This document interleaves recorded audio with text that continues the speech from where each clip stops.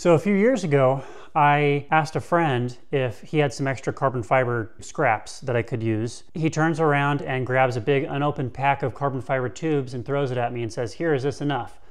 And uh, I was like, yeah, sure, I guess so. I didn't realize at that time that that was like $400 worth of carbon fiber.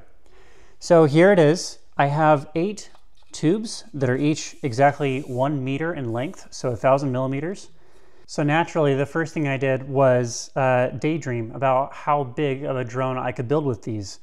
So I thought, well, if I used each one as its own individual arm um, and made an octocopter, how big could this thing be? And so I designed and 3D printed this thing, uh, which basically allows me to put these tubes in here as close together as they'll go. So I put it together, and as you can imagine, I started drooling over the potential of how big this drone could be.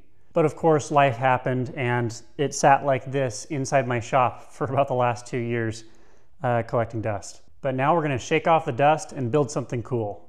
So the first question is, how are we going to design this body? Well, normally when you build a really big drone like this one, the body actually takes up most of the drone and the arms are actually pretty short uh, at least relative to the size of the body, of course with a few exceptions.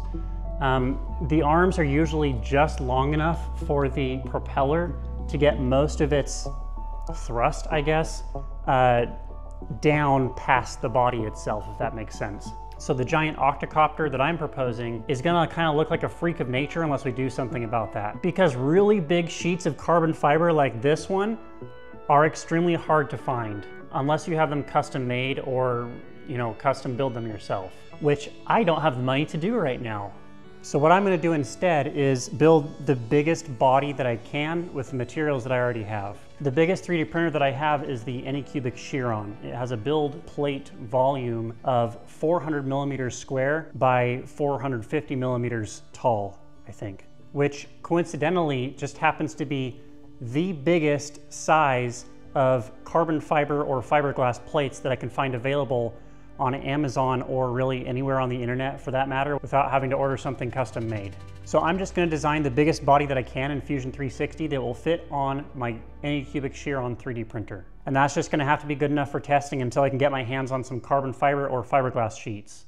I forgot to record every aspect of building the body. So I drew a line, then I drew more lines and circles, then I extruded, then I drew more lines and circles, and I extrude it again.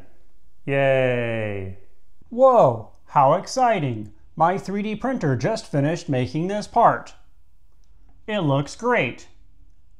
So as you saw in the intro, I put it together and this is what we've got.